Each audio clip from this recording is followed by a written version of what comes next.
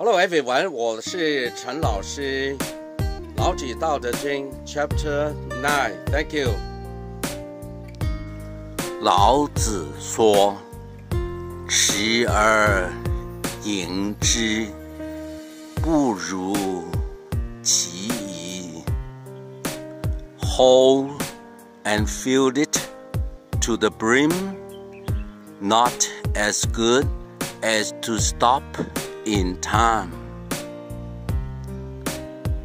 Oh, yes, it's difficult to hold for a long time, and it's more difficult to quit when the time to quit.